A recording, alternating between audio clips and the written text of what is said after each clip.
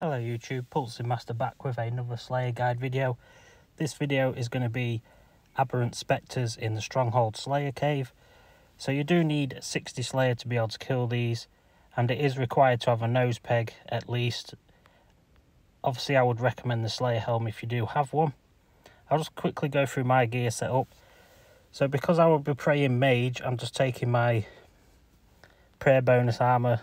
So initiate, plate, legs and body and then I just take um, my best weapons and other armors that I've got for strength bonus wise.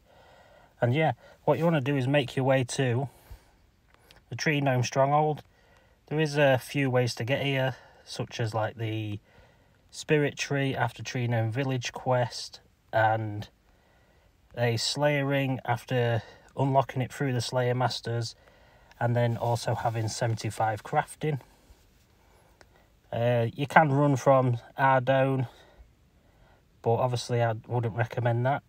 You also could use the seed pod after uh, Dragon, no, Monkey Madness 2, which takes you to the Grand Tree, so it's a short run from there.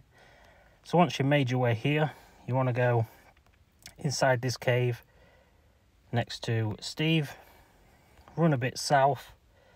If you do have um, 76 agility. You can use this shortcut here just on the wall there. But if not just keep running south past the uh, hellhounds. And then once you get to this bit here just run east and past these hellhounds also. And as you can see you will be at the aberrant spectres. There's a few things i would recommend bringing with you and that is a herb sack as they do drop a ton of herbs.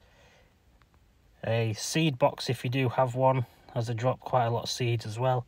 I also bring high alchs for me because they drop stuff like Mythkite shields, rune full helms, lava battle staffs and just a few other general bits.